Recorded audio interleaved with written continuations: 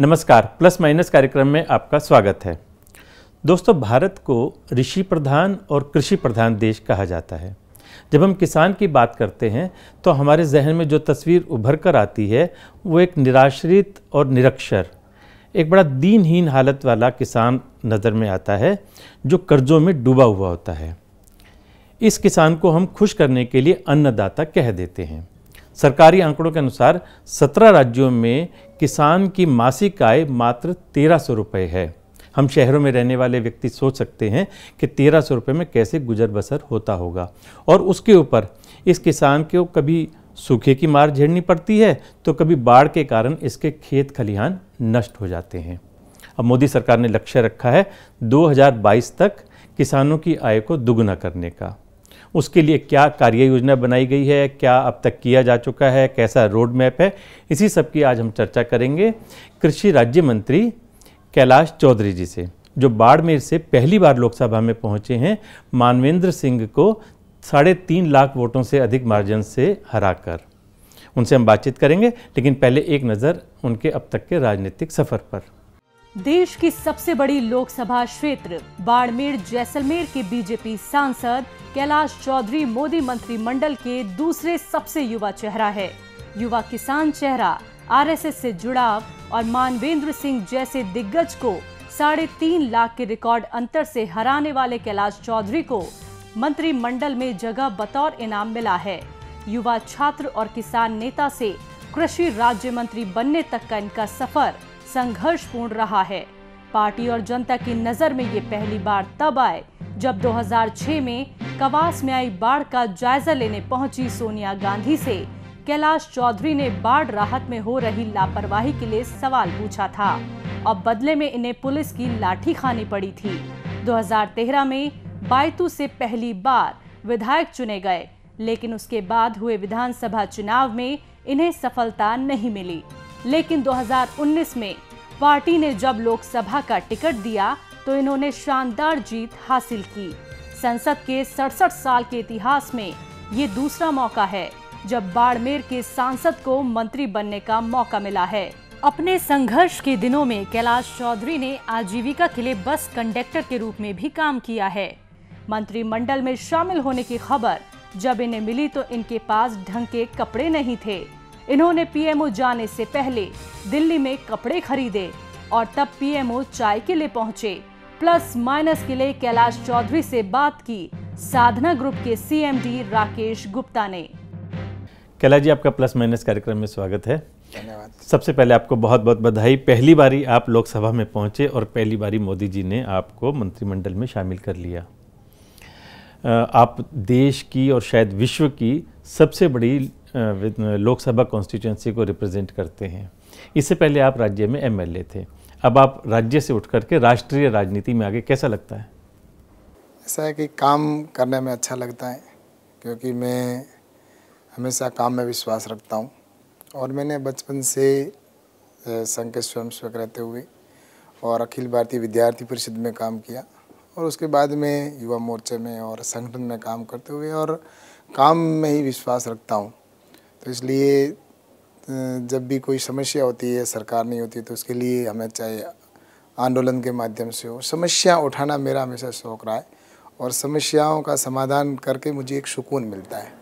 इसलिए आज जहाँ पहले प्रदेश और विधानसभा तक काम करता था तो आज पूरे देश के किसानों के लिए मुझे काम करने का अवसर मिला है। तो इसलिए मैं प्रधानमंत्री जी का बहुत बहुत आभारी हूँ कि उन्होंने मुझे ये अवसर दिया है। और क्योंकि मैं स्वयं किसान हूँ और मैं खुद खेती करता हूँ। इसलिए मुझे पता है कि किसान का क्या दर्द है। मैंने मैं किसान मोर्चे का प्रदेश अध्यक्ष रहते हुए राजस्थान के अंदर भी मैंने किसानों की समस्याओं को हमेशा सरकार के अंदर से बात करके समस्याओं का समाधान किया तो आज मुझे ये सब पता है कि किसान की क्या समस्या है किसान को किस तरह से हम लाभ दे सकते हैं। आपको किसान की समस्याओं का पता है और मोदी सरकार ने 2022 तक किसानों की आय को डबल करने का लक्ष्य रखा है। लेकिन अभी जो नीति आयोग के जो आंकड़े आए हैं उसके अनुसार किसान की आय में 2.3 प्रतिशत की गिरावट आई है। तो कैसे उस इतने बड़े लक्ष्य को हासिल करेंगे हम? ऐसा है कि प्रधानमंत्री जी ने कहा है कि 2022 तक किसानों की आमदनी दुगनी करना है। तो निश्चित रूप से ये लक्ष्य पूरा करेंगे। क्योंकि जो हमारे प्रधानमंत्री जी ने कहा कि फाइव ट्रिलियन इकोनॉमिक तक ले जाना है, उसके अंदर सबसे ज़्यादा अगर कोई इसकी भूमिका होगी तो वो कृषि की होगी। कृषि का अभी जीडीपी में 14 प्रतिशत का योगदान है और गाँव में तो उनचास प्रतिशत रोज़गार कृषि के कारण से पैदा होते हैं और शहरों में देखें तो चौंसठ प्रतिशत तक।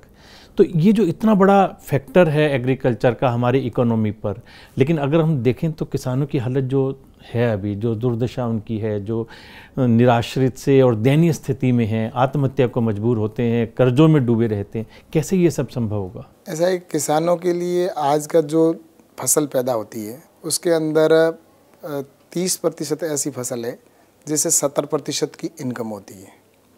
और सत्तर प्रतिशत किसान ऐसी फ़सल बोते हैं, जिससे तीस प्रतिशत की इनकम समझते हैं, मानते हैं, उतनी होती है। तो इस डिफरेंस को पूरा करने के लिए हमारी सरकार काम रही, कर रही है कि किसान को लाभकारी फ़सल बोए, जिससे किसान को लाभ मिले। आज हमारे प्रधानमंत्री जी ने बजट के अंदर भी घोषणा की है कि किसानों के लिए एक तो उसके अंदर किसान के लिए किसान की जो पेंशन योजना और किसानों के लिए छः हज़ार रुपये जो किसान सम्मान निधि के तौर पर देने का तय किया है। उसके साथ ही किसान की इनकम बढ़े, किसान की इल्स बढ़े, उसके लिए सरकार की ओर से जैसा कि किसान की लागत कैसे कम हो, किसान के लिए उसके उसकी उन्नत किस्म का बीज मिले और किसान को मार्केट कैसे अवेलेबल हो? तो इसके लिए हमारे प्रधानमंत्री बजट के अंदर एक तो जो योजना है जिसके अंदर अपन ज़ीरो बजट फ़ार्मिंग उसका बहुत बड़ा योगदान होने वाला है। आपको लगता है जो किसान निराश्रित है निरक्षर है वो ये सब इतना सब कुछ कर पाएगा क्या? आज जो किसान की अगर इनकम बढ़ाने की आप बात करते हैं अगर मान लो उसकी फ़सल ज़्यादा भी होती है तो उसका सारा मुनाफा कौन ले जाते हैं? बिचौलिए। ऐसा है कि ये बात सही है कि साठ साल जिन लोगों ने शासन किया, उन्होंने किसान की परिभाषा ही बदल दी। क्योंकि किसान का मतलब गरीब। ऐसा इसलिए हुआ क्योंकि उनको सिर्फ़ राजनीति करनी थी और जिसकी वजह से वो सिर्फ़ चुनाव के समय में उनको किसान याद आता था। बाकी किसानों के लिए ऐसी कोई योजना नहीं बनी जिससे कि किसान आगे बढ़ सके। और किसान की अगर कोई बात करे तो ये था परिभाषा, ये कर दी कि किसी एक गाँव में एक गरीब किसान रहता था। कभी ये नहीं लिखा गया कि एक गाँव में अमीर किसान रहता था। और इसी तरह अगर कोई न्यूज़ भी आती है कहीं अखबार मीडिया मैगजीन के अंदर तो किसान को इस तरह से परिभाषित किया उसका चेहरा चित्र दिखाया कि वो कपड़े फटे हुए ज़मीन के ऊपर बैठा है। फ़िल्मों में भी देखते हैं तो किसान हैं। को और उसकी एक पंक्ति लिखी जाती है कि किसान भगवान भरोसे। इस पंक्ति को देखकर युवा ने यह सोचा कि अगर मैं भी किसान बना कृषि अगर मैंने की तो मेरी भी इस तरह से दुर्दशा होगी। इसलिए उसने कृषि को छोड़कर और नौकरी की तलाश में गया। लेकिन अब हमारे प्रधानमंत्री जी ने जिस तरह से किसानों के लिए योजनाएँ बनाई है और ज़ीरो बजट फ़ार्मिंग, एफपीओ के द्वारा, फ़ूड प्रोसेसिंग यूनिट के माध्यम से जो पढ़े लिखे किसान, युवा हैं, जो वास्तव में अच्छी उन्होंने शिक्षा प्राप्त की है और वो अभी इस कृषि की ओर आकर्षित हुए हैं। और जिसकी वजह से मैं ये मान सकता हूँ कि आने वाले टाइम के अंदर जो एक समय उत्तम खेती थी, मध्यम व्यापार था और नौकरी को लास्ट में लोग पसंद करते थे। लेकिन अब मुझे पूरा विश्वास है कि आने वाले समय के अंदर युवा है, वो खेती की ओर आकर्षित होगा और नौकरी को छोड़ना चाहेगा। मैंने कई ऐसे मेरे अभी युवाओं से मेरा मिलना हुआ है, जिन्होंने आर की नौकरी या आई की नौकरी करते हुए उन्होंने नौकरी को छोड़ के और कृषि की ओर गए और उनका एफ़ के माध्यम से उनके बहुत बड़ा काम कर रहे हैं और खेती ही देश को, क्योंकि भारत कृषि प्रधान देश है और इसके अंदर खेती से हम बहुत कुछ आने वाले समय में देश के लिए काम कर सकते हैं। आपने एक फ़सल बीमा योजना बनाई जिसके कारण से किसानों को ये लगा कि अगर अभी कभी हमारे ऊपर में आपत्ति आएगी तो हमें वहाँ से और पैसा मिल जाएगा। उसके कारण से बीमा कंपनियों ने किसान के अकाउंट से सीधे पैसे भी काटने शुरू किए और स्टेट से और सेंटर से भी बीमा कंपनियों को पैसा मिलने लगा। अब अंतिम, अंत में क्या हुआ कि जो बीमा कंपनियाँ थी वो तो करोड़पति बन गई, लेकिन किसान वहीं का वहीं रह गया। क्योंकि जब उनको क्लेम लेना होता है, बाढ़ के कारण जब पूरी की पूरी फ़सल उनकी नष्ट हो जाती है, उनको क्लेम मिलता नहीं है। ऐसा है कि सरकार की तरफ़ से किसान के आपदा आए इसके लिए जब उसके ऊपर कोई ऐसा वज्रपात हो जाए तो उस समय किसान को सहायता मिले। इसके लिए हमारे प्रधानमंत्री जी, पूर्व प्रधानमंत्री स्वर्गीय अटल बिहारी जी वाजपेयी जी ने ये योजना प्रारंभ की थी, जिसके अंदर किसानों को लिए क्लेम मिले, किसानों का बीमा हो। पहले कभी किसान का बीमा भी नहीं होता था। किसान अपने हाल के ऊपर रोता था, उसको अगर नुकसान हो जाता था तो उसको कोई लाभ नहीं मिलता था। मैं स्वर्गीय अटल बिहारी जी वाजपेयी जी को बहुत बहुत इस मौके पर धन्यवाद देना चाहूँगा कि उन्होंने किसानों के उस दर्द को समझा। और जिसकी वजह से एक फ़सल बीमा नीति लागू की गई। और उसके बाद में हमारे प्रधानमंत्री माननीय नरेंद्र मोदी जी ने नई फ़सल बीमा नीति लागू की, जिसके अंदर बहुत अच्छे किसानों को लाभ मिले उसके लिए और किसानों को लाभ हो उसके लिए उसके अंदर सबसे ज़्यादा प्रावधान किए गए। दस साल दुर्भाग्य से जो सरकार बीच में रही थी, उन्होंने अगर काम किया होता उस पर तो मैं सोचता हूँ कि उनको किसानों को और उस बीच में ज़्यादा लाभ मिलता। लेकिन सरकार की ओर से हमेशा किसानों के लाभ के लिए योजना बनती है और आपदा आती है तो उसका अलग से सरकार की ओर से हमेशा एसडीआरएफ और एनडीआरएफ योजना के तहत किसानों को हम लाभ देते हैं। लेकिन जैसा कि आपने कंपनी को लाभ देने की बात की है तो मैं तो ये कहना चाहता हूँ कि कंपनियों को आ, किसान को किस तरह से लाभ मिले इसको लेकर हमने निश्चित रूप से हमारी मॉनिटरिंग होती है। और हमारी बाकायदा पूरे मंत्रालय के द्वारा हमेशा ये चिंता की जाती है कि किसान को ज़्यादा से ज़्यादा लाभ मिले। और मैं ये श्योर करता हूँ कि कभी भी आने वाले समय में किसान के साथ अन्याय नहीं होने देंगे, क्योंकि किसान हमारी सबसे मज़बूत इस देश की दूरी है। कैलाश जी 2005 में स्वामीनाथन रिपोर्ट आई थी, जिसमें उन्होंने बहुत सारी बातें कही थी कृषि को लेकर के कि देश में क्या कुछ होना चाहिए। उसको कहाँ तक लागू किया? क्योंकि अक्सर होता ही है कि बड़ी बड़ी कमेटियाँ बन जाती हैं और वो फाइंडिंग्स अपनी दे करके और किताबें बना बना करके दे देते हैं और वो धूल चाटती रहती हैं। स्वामीनाथन आयोग की सिफारिश जो उन्होंने लागू की थी, उसके अंदर मुख्य रूप से किसानों के लिए, किसानों को उसका एमएसपी के माध्यम से उनको पैसा मिले और उस सोइल टेस्ट हो या उनको किस समय क्या करना चाहिए, वो सारे उसके अंदर विषय थे। तो उसके ऊपर हमारी सरकार जैसे आई तो उन्होंने पूरे उसकी मॉनिटरिंग करते हुए उन योजनाओं को लागू किया। और आज मैं आपको दावे के साथ में कह सकता हूँ कि जो स्वामीनाथन आयोग की सिफारिश के अंदर जो उन्होंने कहा था, उसको हमने लगभग शत प्रतिशत लागू कर दिया है। और अभी जैसा कि उन्होंने स्वामी, ऋण की भी बात आई तो उसके अंदर स्वामीनाथन जी ने तो स्वयं ने कहा है कि ऋण माफ़ी किसान का अंतिम हल नहीं है। तो इस ऋण माफ़ी के विषय को छोड़ के मैं कहता हूँ कि सारे जो हमने स्वामीनाथन जी ने कहा है, उनको लगभग हमने पूरा मान लिया है और उस रिपोर्ट को जो है उसको पूर्ण रूप से वो जो उसके अंदर है, वो सब लागू कर दिए हम खेती की बात करते हैं, लेकिन आज हमारे रूरल अर्बन एरियाज़ धीरे धीरे धीरे धीरे कंक्रीट के जंगल बनते जा रहे हैं। कृषि की जो जगह है, वहाँ पर इंडस्ट्रीज़ लगती जा रही हैं या बड़ी बड़ी बिल्डिंग बनती जा रही हैं, सड़कें बन रही हैं, डैम बन रहे हैं। तो ये, और सबसे बड़ी समस्या ये है कि जब किसान की ज़मीन पर ये सब होता है तो किसान को उसका उचित मुआवजा नहीं मिलता।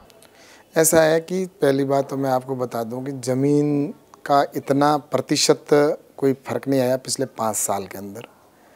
मात्र एक प्रतिशत खेती कम या ज़्यादा होती है क्षेत्रफल की दृष्टि से। वो और उसके अंदर मुआवजा नहीं उसके अंदर देखो ये भी ज़रूरी है कि हमें जिस तरह से ज़मीन की कि विकास के लिए ज़मीन की आवश्यकता है लेकिन जो हमारे ऐसे कई क्षेत्र है जहाँ पर खेती नहीं होती है बंजर ज़मीन है, उसको भी हम ले रहे हैं। लेकिन जो मुआवजे की आपने बात की है राज्य सरकार की ओर से जो भी राज्य सरकार है, वो जितना पैसा वहाँ से रिकमेंड करके भेजते हैं, उस नॉर्म्स के अनुसार, उतना केंद्र सरकार की योजना होती है तो केंद्र सरकार उतना पैसा देती है, नहीं तो राज्य सरकारों को उतना पैसा किसान को देना होता है। तो इसलिए मैं ये कह सकता हूँ कि विकास के लिए ज़मीन की भी आवश्यकता है, और किसानों के लिए फ़सल की भी आवश्यक उत्पादन बढ़े, उसकी भी चिंता है। तो हमारा मंत्रालय और हमारी सरकार पूरी तरह से किसानों के साथ खड़ी है। कहीं पर भी किसान के साथ अन्याय नहीं होने देंगे। एनसीआरबी ने एक रिपोर्ट दी कि उन्नीस सौ तिरानवे से लेकर 2008 के बीच में दिल्ली और चंडीगढ़ के किसानों को अट्ठावन हज़ार करोड़ रुपए सब्सिडी के रूप में दिए गए। अब दिल्ली और चंडीगढ़ में किसान नहीं है, वो ज़्यादातर बाहर से खेती कराते हैं। तो आपको लगता है कहीं ना कहीं हमारे मैकेनिज्म में कमी है?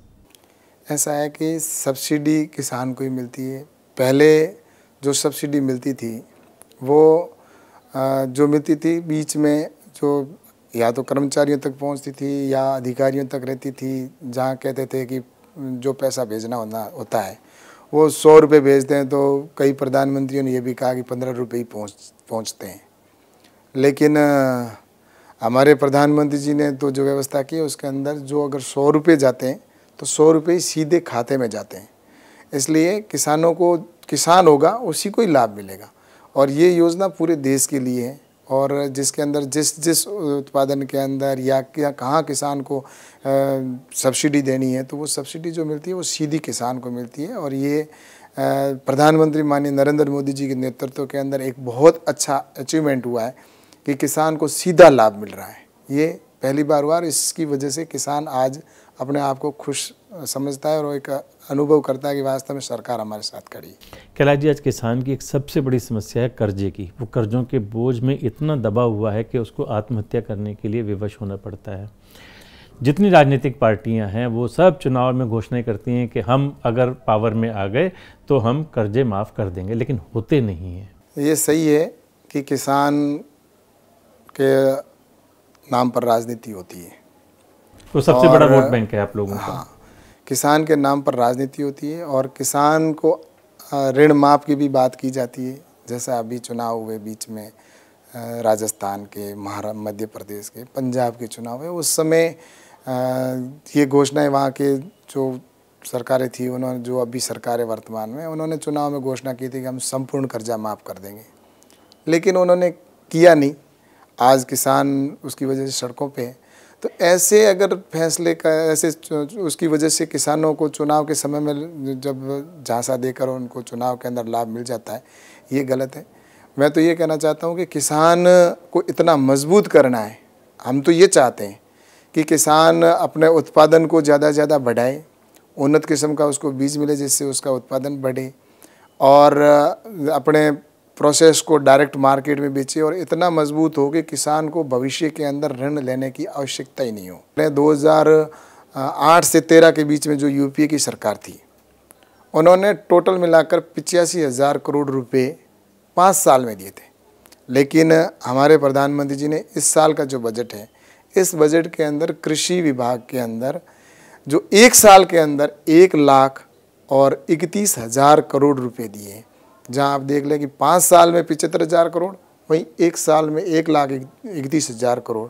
तो इससे साफ़ ज़ाहिर होता है कि हमारी सरकार किसानों के प्रति संवेदनशील है और आने वाले समय में किसान को मज़बूत करना चाहती है और किसान देश की आर्थिक स्थिति को मज़बूत करने में बड़ा योगदान हो, ये हमारी सरकार चाहती है।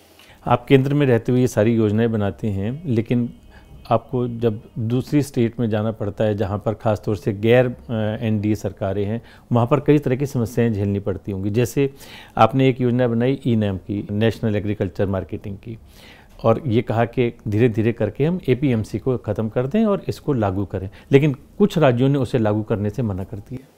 बिल्कुल सही है। मैं तो ये कहना चाहता हूँ, किसान के नाम पर राजनीति नहीं होनी चाहिए। आज चाहे ई नाम की बात कर रहे हो आप चाहे किसानों के लिए किसान सम्मान निधि की बात करें। प्रधानमंत्री जी ने एक बहुत महत्वपूर्ण योजना प्रारंभ की, किसानों के लिए किसान सम्मान निधि के तौर पर छः हज़ार रुपये प्रतिवर्ष देना। ये चार महीने के अंदर देते हैं, तीन दो दो हज़ार की किस्त के अंदर देते हैं। तो उस, इस योजना के अंदर जहाँ किसान को सीधा लाभ मिल रहा है इनाम के अंदर उनको सीधा लाभ किसान को मिलता है और उस योजना को अगर कोई स्टेट राजनीति की वजह से कि ये केंद्र की सरकार की योजना है और इसकी वजह से वो लागू नहीं करते और जिसकी वजह से उन उस प्रदेश के किसानों को लाभ नहीं मिलता तो मैं सोचता हूँ कि ये किसानों के साथ में वो सरकार अन्याय कर रही है। कैलाश जी, आप बाड़मेर, जैसलमेर कॉन्स्टिट्यूंसी को रिप्रेजेंट करते हैं, जो विश्व की सबसे बड़ी क्षेत्रफल के हिसाब से कॉन्स्टिट्यूंसी है। बहुत सारी समस्याएँ होंगी और पाकिस्तान के साथ लगता हुआ एरिया भी है। क्या कुछ योजनाएँ बनाई है आपने? ऐसा है कि बाड़मेर और जैसलमेर लोकसभा क्षेत्र वैसे बहुत पिछड़ा हुआ क्षेत्र है, रेगिस्तानी क्षेत्र है। और यहाँ पर जो हमारे पहले जनप्रतिनिधि जो रहे, अधिकतर वहाँ पर कांग्रेस के प्रत्याशी रहे तो उन्होंने उस क्षेत्र के ऊपर ज़्यादा ध्यान नहीं दिया। और या तो वो बाहर से आकर वहाँ से जीत के गए या वहाँ, वहीं के थे तो उन्होंने सिर्फ़ जीतने के बाद में या तो दिल्ली में आके बैठ गए या एयर कंडीशन के अंदर बैठ गए। उन्होंने उस क्षेत्र की चिंता इतनी नहीं की, जिसकी वजह से वो क्षेत्र पिछड़ा हुआ रहा। लेकिन आज मुझे कहते हुए खुशी हो रही है कि आने वाले जो पिछले पाँच साल के अंदर जो हमारे प्रधानमंत्री जी का कार्यकाल रहा पिछला पाँच साल में, उसमें इतने काम हुए कि आज रिफाइनरी, जो हमारे वहाँ की एक मेन जिसकी हमें आवश्यकता थी कि जहाँ इतना तेल का उत्पादन हो रिफाइनरी लगनी चाहिए। तो आज वहाँ पर बाड़मेर जैसलमेर के अंदर रिफाइनरी स्थापित हो रही है और जो लगभग छप्पन हज़ार करोड़ रुपए की रिफाइनरी बन रही है और तेल भी हमारे वहाँ पर निकला है। तो निश्चित रूप से इस बाड़मेर जैसलमेर के अंदर, आने वाले समय के अंदर, इन पाँच साल जो पिछले जो कार्यकाल था, इसके अंदर तो प्रधानमंत्री जी ने जो गड्ढे खो इनके लोगों के जो खोदे हुए थे, वो उनको भरने का काम किया था, लेकिन अब हमारे विकास होगा और जैसा कि हमारे वहाँ पर कुछ रेल लाइन की भी है तो उसको भी हम करवाएँगे, एयरपोर्ट भी हमारे वहाँ पर बने तो उसको भी करवाएँगे। और किसानों के लिए हम किस तरह से इनकम बढ़े, उसके ऊपर भी हम प्रयास करेंगे। हमारा बाड़मेर और जैसलमेर एक मॉडल लोकसभा क्षेत्र बनेगा, जो पिछड़ा हुआ है, उसको हम प्रयास करेंगे कि आने वाले समय के अंदर एक मॉडल लोकसभा क्षेत्र बने और लोग उसको देखने के लिए आए कि वास्तव में विकास अगर कहीं देखना हो तो बाड़मेर जैसलमेर मेरी मंशा और इसको पूरा साढ़े तीन लाख वोट से ज़्यादा के मार्जिन से आप जीते हैं तो लोग एक्सपेक्ट भी करते हैं कि कुछ आप बहुत अच्छा वहाँ पर करेंगे। ये तो जनता का प्यार है। मैं धन्यवाद देना चाहता हूँ बाड़मेर जैसलमेर की जनता को कि उन्होंने मुझ जैसे छोटे कार्यकर्ता के ऊपर भरोसा किया और मैं उनके भरोसे के ऊपर खरा उतरूँगा। और उनकी उम्मीदों को पूरा करने का पूरा पूरा प्रयास करूँगा।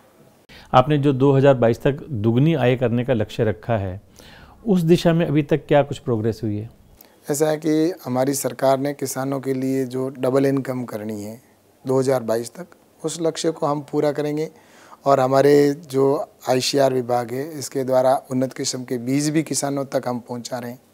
और साथ ही हमारे जो किसानों के उपकरण भी, आधुनिक उपकरण पहुँचाने के लिए हमारा पोर्टल भी तैयार किया गया है और जिसके अंदर हम किसान जो है, वो सीधा वहाँ पर पोर्टल के माध्यम से, वहाँ से जो हमारे सेंटर है, वहाँ से अपने उपकरण भी, आधुनिक तकनीकी वो खरीद सकते हैं या वहाँ पर किराए पर ले सकते हैं।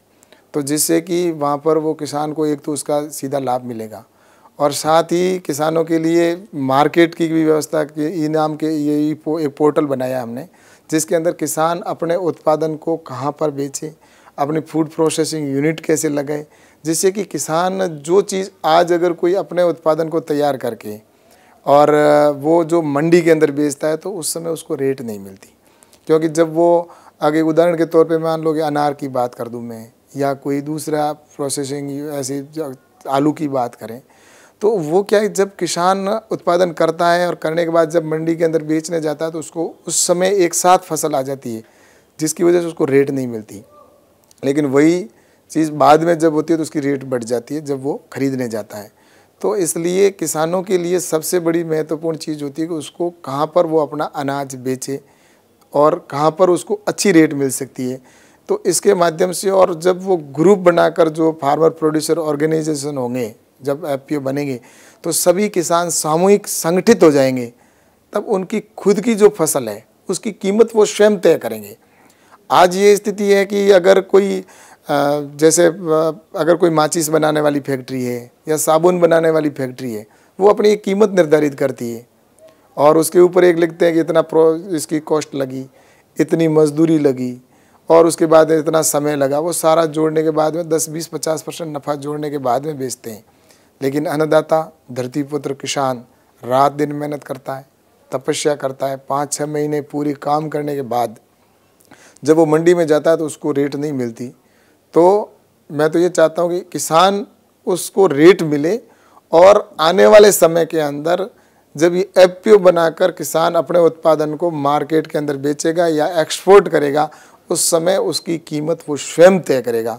और हमारे प्रधानमंत्री जी यही चाहते हैं कि आने वाले समय के अंदर किसान अपने उत्पादन का स्वयं मूल्य अगर रेट तय कर देगा, उस दिन किसानों की आमदनी बढ़ेगी और इस और हमारी सरकार काम कर रही है और जिसकी वजह से ये दस हज़ार हमारे जो एफ़ की घोषणा हुई और वो काम हम प्रोसेस के साथ में बहुत गति के साथ आगे बढ़ा रहे हैं और किसानों को जागरूक भी कर रहे हैं और किसानों के लिए जैविक खेती का भी हम बढ़ावा दे रहे हैं। क्योंकि जैविक खेती करेगा तो उससे लागत भी कम होगी। हमारी जो उस जैविक खेती के अंदर गाय का बहुत बड़ा महत्व है। आज अगर पशुओं के अंदर देखें तो गाय हमारी माता है। उस माँ को भी एक संरक्षण मिलेगा, लोग गौ माता को रखेंगे तो उससे खेती भी बढ़ेगी और गाय भी बचेगी। तो इस सारे विषय पर हमारी सरकार काम कर रही है और किसान की आमदनी हम बढ़ाएँगे और निश्चित रूप से 2022 तक जो हमारा लक्ष्य है उसको हम पूरा करेंगे, किसान की आमदनी बढ़ाने का पूरा लक्ष्य प्राप्त करेंगे। इसीलिए किसानों की इस समस्या को देखते हुए प्रधानमंत्री जी ने पशुपालन मंत्रालय एक अलग से बना दिया ताकि जो किसान पशु को संभालते हैं देखते हैं उनको पालते हैं तो उनकी उस तरह की समस्याओं को भी हम हल कर बहुत अच्छा किया मैं धन्यवाद देना चाहता हूँ हमारे देश के प्रधानमंत्री जी को कि उन्होंने एक छोटी छोटी बातों के ऊपर ध्यान रखते हुए किसानों की बात हो चाहे मजदूर की बात हो चाहे आम आदमी की चिंता हो एक अंतिम व्यक्ति बैठा है उसकी भी चिंता प्रधानमंत्री जी करते हैं।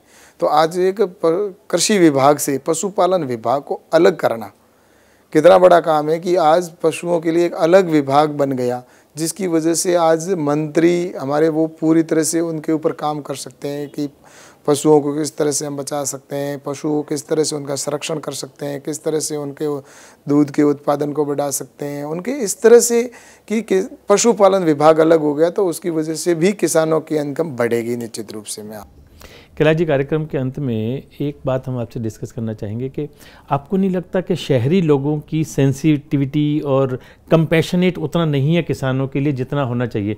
जैसे अभी हम हाल में एक उदाहरण देखें, एक सौ बयासी किलोमीटर की यात्रा करके नासिक से करीब चालीस हज़ार आदिवासी किसान बॉम्बे गए थे मार्च करने के लिए। और 38 डिग्री 40 डिग्री में वो पैदल नंगे पाँव उन्होंने मार्च किया अपनी मांगों को पूरा करने के लिए, अपनी मांगें मनवाने के लिए। लेकिन जब वो बॉम्बे पहुँचे तो उन्होंने 12 किलोमीटर पहले रात के टाइम में मार्च किया कि भाई कल बच्चों के एग्ज़ाम होंगे, बोर्ड के एग्ज़ाम हैं तो उन्होंने कोई स्लोगन नहीं किए, कोई शाउटिंग नहीं की, कुछ नहीं किया और ट्रैफ़िक जाम ना हो जाए, इसके लिए उन्होंने रात को मार्च किया और उसको लेकर के मुंबई के लोगों ने उनका धन्यवाद भी किया। उस तरह की कंपेशनेट आज हमारी सोसाइटी में कहीं ना कहीं कमी है। ऐसा है कि किसान हमेशा ईमानदार रहा है। और किसान बात करता है, वो मन से बात करता है, दिल से बात करता है। और किसान इस देश के लिए हमेशा यही उसके मन में रहता है कि मेरा दे, मैं अपने परिवार को मज़बूत करूँ, उससे पहले वो देश को मज़बूत करना चाहता है। लेकिन उसको अवसर नहीं मिलता। आज किसानों ने जैसा आपने बताया कि इतना अच्छा निर्णय लिया इसलिए मैं आपसे कह सकता हूँ कि आने वाले समय के अंदर निश्चित रूप से किसान इस देश के लिए एक बहुत बड़ा मैसेज जो इन्होंने भेजा है। निश्चित रूप से ये देश पूरा फॉलो करेगा और प्रधानमंत्री जी का जो हमारे देश को विश्व गुरु बनाने का लक्ष्य है, पूरे देश पूरा चाहता है तो उस और हमारा देश आगे बढ़ चल, चला है प्रधानमंत्री जी के नेतृत्व में और निश्चित रूप से आने वाले समय के अंदर भारत विश्व गुरु बनेगा। बहुत बहुत धन्यवाद कैलाश जी। आप स्वयं किसान परिवार से आते हैं तो इस किसान के दर्द को उसकी दुर्दशा को आप बहुत अच्छी तरह समझते भी हैं और आपके नेतृत्व में जो मंत्रालय काम कर रहा है निश्चित रूप से किसानों की समस्याएँ हल भी होंगी और कहीं बेहतर उनका भविष्य बन सकेगा। बिल्कुल किसानों की और प्रधानमंत्री जी के विश्वास के ऊपर खरा उतरने की कोशिश कर रहे हैं निश्चित रूप से खरा उतरेंगे। बहुत बहुत धन्यवाद कैलाश जी। प्लस माइनस कार्यक्रम में आज हमारे साथ थे कृषि एवं किसान कल्याण राज्य मंत्री कैलाश चौधरी जी अगले सप्ताह फिर मुलाकात होगी। नमस्कार।